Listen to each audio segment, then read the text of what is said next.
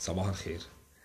السؤال بيقول ينفع ألعب شاكوش عشان أكبر ال biceps أطول ال biceps؟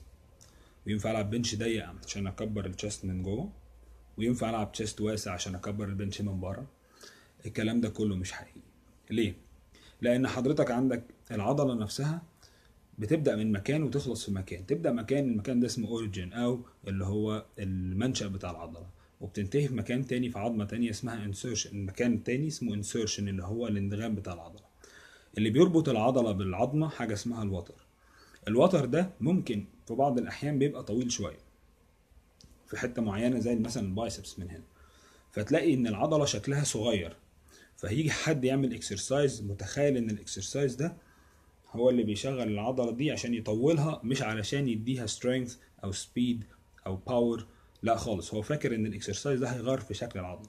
حضرتك ما تقدرش تغير في شكل العضلة. حضرتك اللي بتغير فيه بس هو حجم العضلة. تمام؟ إنما الشكل انسى. دي حاجة جينات ربنا خلقك بيها.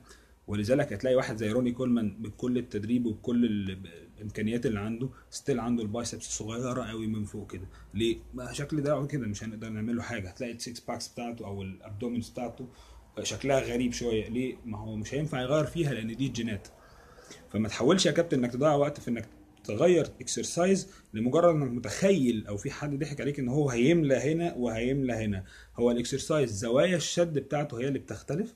دي حاجة. حاجة تانية ال load بتاع ال exercise يعني load التدريب اللي هو مجموعة من ال exercises ب intensity و volume و frequency معينة و rest period معينة هم دول اللي بيتغيروا في حجم التدريب أو ال fitness حجم ال muscle أو ال fitness component بتاعت ال muscle. إنما مفيش حاجة اسمها هطول ال biceps. و by the way ال exercise بتاع ال hammer مش ال biceps هي ال main هي ال main muscle اللي شغالة فيه. حاجة اسمها ال brachialis وال brachioradialis عضلات تانية خالص ال biceps assistant بس. شكرا وأشوفكم الفيديو الجاي.